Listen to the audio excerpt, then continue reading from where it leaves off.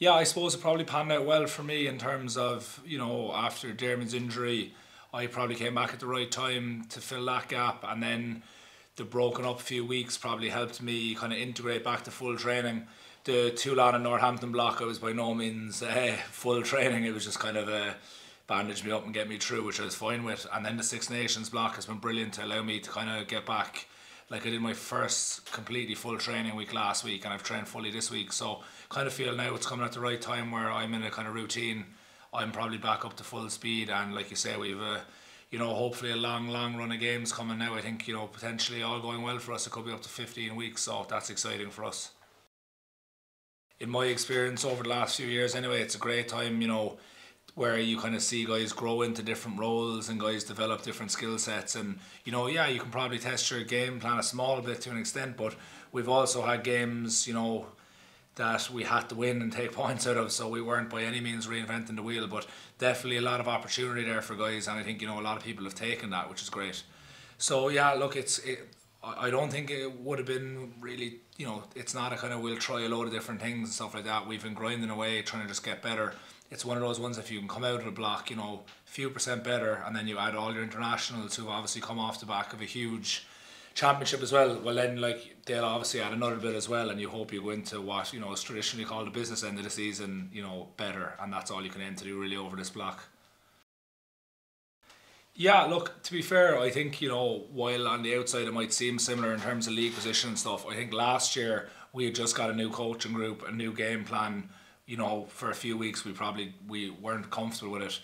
This year's been a bit different where I think if you actually look at a lot of the games that we've lost, they've been pretty tight games that, you know, a lot of them we probably shouldn't have lost. And I think that's probably the difference. Excuse me. Where I think we've been actually playing quite consistently, but maybe the results just haven't fallen our way. Whereas I think we put our hands up and say at the start of the last season we weren't really playing well, we hadn't clicked with the game plan. Whereas this year I don't really think that's the case. I think where we were starting to go into the business end this year from a better place. So hopefully we can, you know, catapult our season from here. It's been made in no way unclear to us. It's huge for us in terms of points. We have to climb up the league table, and Ospreys are in the very same position as us. So they'll be thinking the exact same thing. They're at home. They've won a lot at home. It's been a long time since they've lost in the Liberty Stadium. You know, and we're like I've played there a lot of times. I know it's a hard place to go and win. So I think we'll be just looking at the physical elements of it getting our job right and allowing our attack game plan to kind of thrive. But we're also aware that you know they have a seriously good defence. They have an absolute load of turnovers in the league. So that that's going to be a huge uh, challenge for us retaining the ball. And I think if we can get that right, then you know, and we can display our game plan, hopefully we'll be a lot to handle for them. But we're under no illusions what they bring as well. You know, particularly around that mauling element, that counter attack threat they bring, and that kind of you know they they're very clinical around their like kicking game to get territory you know, and they often end up, you know, catching you behind the gain line there, and all of a sudden now you're defending another maul, and it's very cyclical if you don't stop it. So we're under no illusions how strong a team they are, you know, and it's going to be a big challenge, but again, one that we're looking forward to because we have to take points out of it. These are a sticky outfit. Immensely impressed by their coach, Toby Booth. I've known him for a long time. And he's brought that squad together. They've not had an easy year. Remember a year ago with all the the uh, the contracting negotiations, and there was an, a near strike, wasn't there? Six Nations 23 last year, the England Wales game, and he, he's really brought that squad together. They're playing a good brand of rugby, and they're just tough. They're tough to play against. Um, got a good set piece, a good maul, so discipline and penalty access will be top of the list not to do again this week. I'm a big fan of them. Um, good breakdown threat, kick the ball a bit, put pressure on us, apply pressure through their kicking game.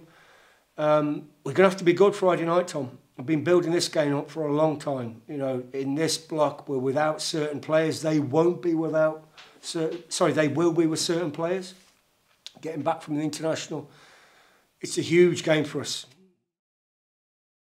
Billy, um, yeah, I'm excited by it all, actually. Done a research on him. He's going to be great. He's going to be particularly good for helping the young guys come through we need someone with a bit of experience. And he's he's at a crossroads in his career, Neil. He's 29, and it's a new challenge for him. He likes how we're playing the game. I think he's going to fit in really well. I'm really, when the, uh, the opportunity came to speak to him, I was really excited, but having spoke to him, I think he's going to be a great addition to the squad.